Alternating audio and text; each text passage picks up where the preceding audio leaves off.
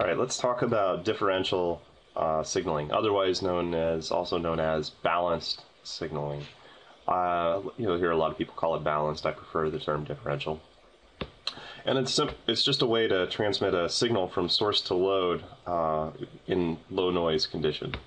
But before we get into what differential signaling is, let's get in. Let's talk a, a little bit about what single-ended signaling is. Single, single-ended signaling, and single-ended signaling is uh, by far the more common and more intuitive way to transmit a signal from source to load. Um, and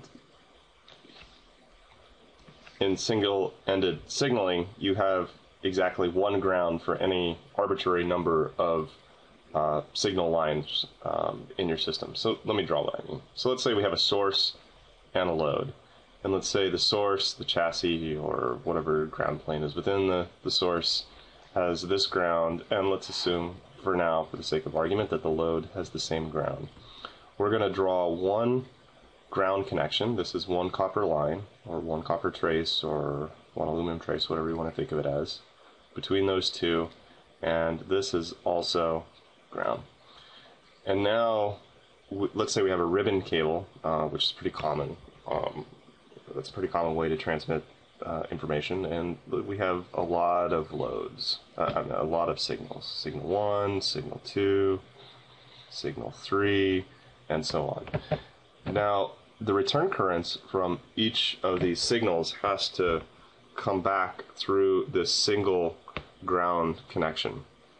And uh, one thing I want to point out is that in this just to reemphasize the point, and this will become more clear when I get into differential signaling, this ground is shorted to the ground over here, and it's shorted to the ground over here. That's different than what we'll, we'll see in differential signaling. Now, what's the problem with this scenario? Well, there's nothing to stop the ground currents from this signal from commingling with the ground return currents from this signal, um, and they can also commingle with something else coming in from the load, and so this potential here can really bounce around. That's one problem with single-ended signaling. Uh, you're referencing to something that can bounce around, and so uh, it's not a steady reference point. Well, what's the advantage of single-ended signaling? And the advantage is you don't need many wires.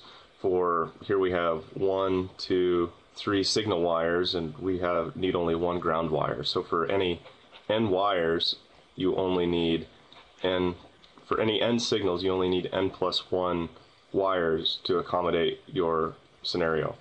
And you'll see as we go along, that's very different from differential signaling, where for n wires, you need 2n, um, signals, you need 2n wires to accommodate your system. And that adds a lot of copper or a lot of metal, adds a lot of complexity.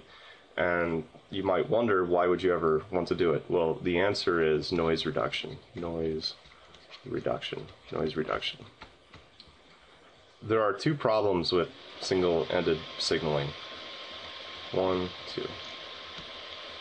The first is that the ground may in fact be different at the two ends. So instead of this being drawn as a symbol like this, maybe we should draw it like this. So you're referencing to something that's not the same across the whole signal chain. Second,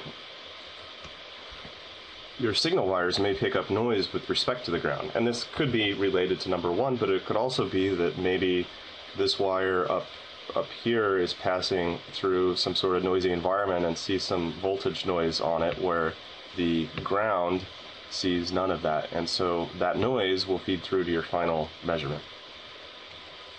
I'm going to go into some examples now, uh, but before I do, I want to point out that there is a point that can get confusing and that is that uh, a single-ended, a two-wire single-ended system looks pretty similar to a differential system. And in fact, if they are terminated this properly, if the single-ended system is terminated properly and balanced, it is the same thing. Uh, but most single-ended systems are not designed to be terminated properly, meaning that over here at the load, they are shorted to the load, where you'll see in the differential case uh, it's, it's using a high, a high impedance load rather than uh, being shorted to the ground plane. Um, and also, they typically are not balanced, and, and that'll become more clear as I go through it.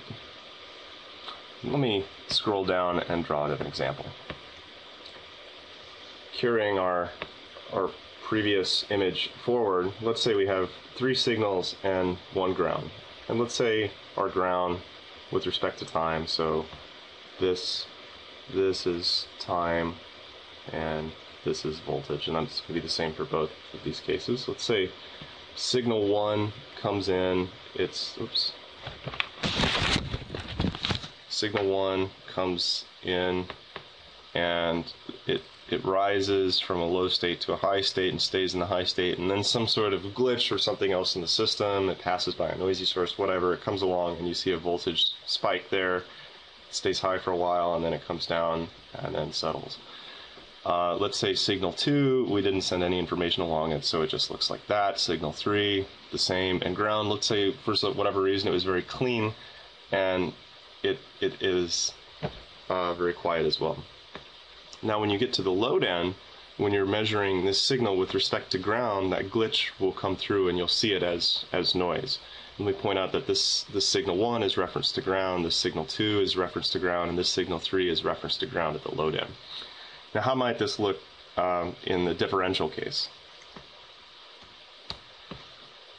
Well, in the differential case, we're going to make several self-referenced pairs of wires. And, and so here, in the single-ended case, you had three signals, so you need four wires. Here in the differential case, we have three signals, so we need six wires. How is this going to look? Well, let's say we construct a circuit where signal 1 plus comes in, and it looks just like signal 1 from the other example. And it comes in, and there's a voltage spike, and then it comes down like that.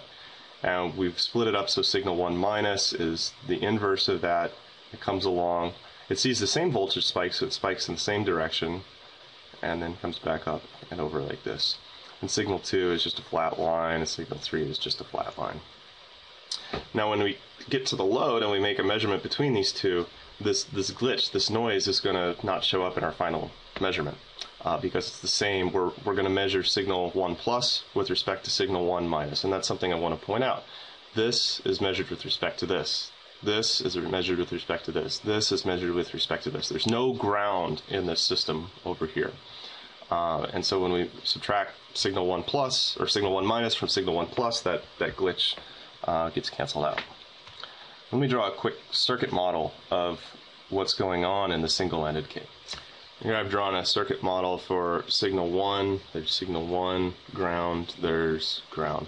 Now what can go wrong in this case? Here's the source, and here's the load where we're making the measurement. You'd make the measurement here, VL.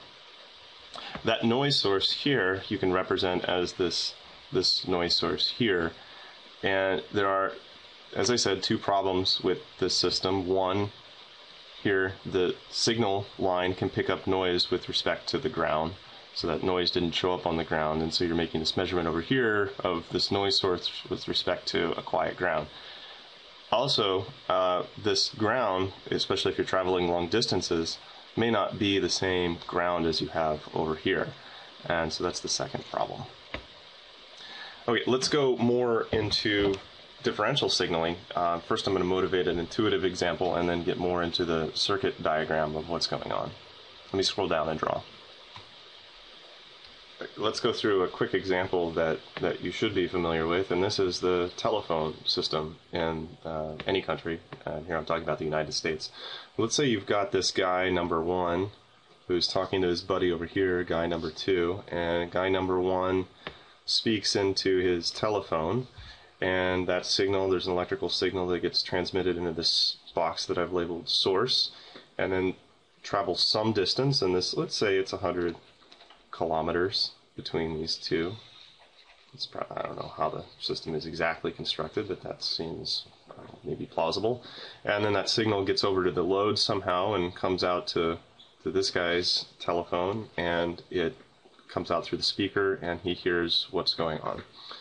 What's between the source and the load? Well, what you do is you have just a very simple scenario where you have twi uh, twisted pair. Twisted pair. So there's wire 1. And let me change colors to keep it clear. And here's wire 2. They're just twisted together. The telephone system is differential signaling. This is, uh, say, V1 plus, and this is V1 minus, or maybe this is ground. The important part is that when they get to the load, they both see a very, very high impedance. And um, so they aren't connected with the ground at the load, which may be looking like this, whereas at the source it was looking like this. So we don't want to consider the grounds at either either end. And as they pass through this 100 kilometers of length, they almost certainly are picking up lots of noise from stray power lines. Maybe there's a power glitch here, uh, a voltage glitch there, but it will also affect the other guy in exactly the same way. And it's it's it's really amazing that the telephone system works as well as it does when it's using such a simple system. Uh, it's differential signaling using twisted pairs of wires. Okay, I'm going to stop and go on to the next video where I'll get into more uh, uh, a more in-depth circuit model of differential signaling.